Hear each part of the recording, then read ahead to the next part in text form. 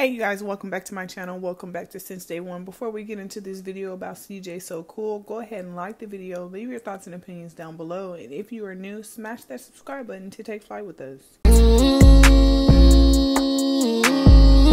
Fake love, I don't need it, you can keep it, that's a fact. I, I had to make up my mind, my mind. CJ So Cool just recently did a new YouTube video basically where he was showing off his new house that he was going to buy because there were issues with his old one. And if you did not watch until the end of this video, then you would have totally missed this important information that CJ So Cool basically told his subscribers.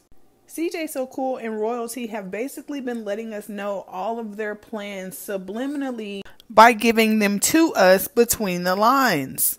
I just released a video basically of royalty letting the world know that CJ So Cool has finally signed her kids' birth certificates and that their last names are now Brady. And now that we have gotten that important information out of the way, we can get to the juicy part of this video, y'all. CJ So Cool let it be known on his YouTube channel while he was talking to his viewers and supporters that royalty is pregnant, y'all. Yes, you heard me right. Royalty is pregnant with twins. And CJ is basically letting us know that he needs to get his act together because he's now going to have not just Kamari, he's going to also have Jalea, Carnation, and Leonidas. And Royalty is pregnant with twins, y'all. So he's going to have six kids looking up to him to do the right thing and make the right choices.